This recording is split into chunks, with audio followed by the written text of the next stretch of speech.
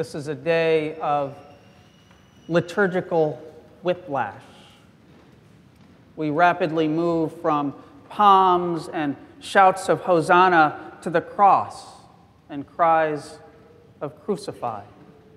In an instant, we go from triumph to tragedy, from palms to passion.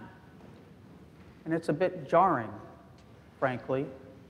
The swirl of emotions, the wild mood swings, the changing tone of the readings and music.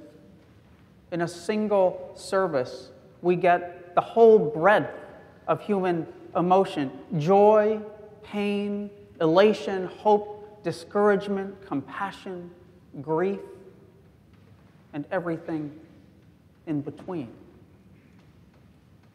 But this makes sense when you think about it, because the Christian life is not an intellectual pursuit. It is about the entirety of our souls. We can't follow Jesus at a safe, emotionally detached distance. We can surely admire him that way, and that's a good first step. But Jesus wants all of us, not just part of us. To follow Jesus takes heart and soul and mind and full immersion.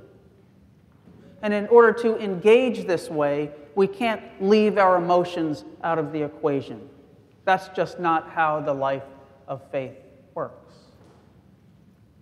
Which is why it's so painful to join in those cries of crucify.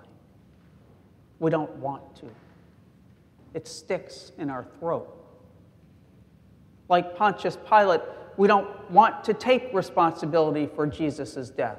We want to blame someone else, anyone else, for the crucifixion the crowds, the chief priests, the Roman authorities.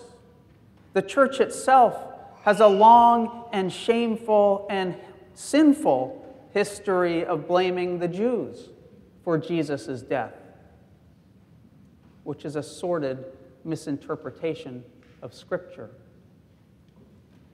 And anyway, we weren't even there. This all happened 2,000 years ago, after all. How could we possibly be to blame? And yet we are indeed complicit. Every time we stay silent in the face of injustice, we crucify Jesus. Every time we fail to lift up the downtrodden, we crucify Jesus. Every time we victimize the marginalized and innocent, whether intentionally or not, we crucify Jesus. And that is a bitter pill to swallow on a day that started with such enthusiastic waving of palms. The good news is that this doesn't make us horrible people. It's just a reminder of our sinful, flawed nature and it points us back towards Jesus and our desperate need for a Savior. That's where the hope of this day comes bursting through, and it sets us up for what is to come. Because Palm Sunday stands as an entryway, a portal into the holiest week of the Christian year.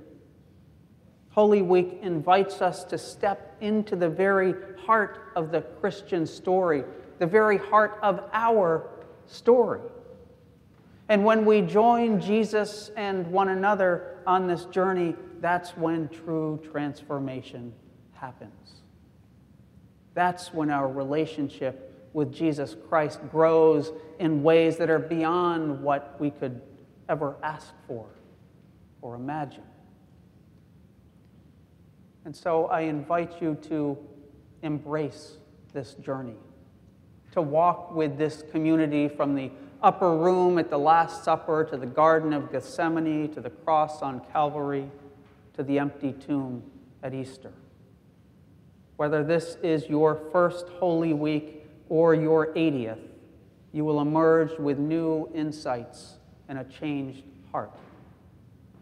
And over the next seven days, I encourage you to immerse yourself in the story, in the liturgy, the music, the drama of the Christian faith.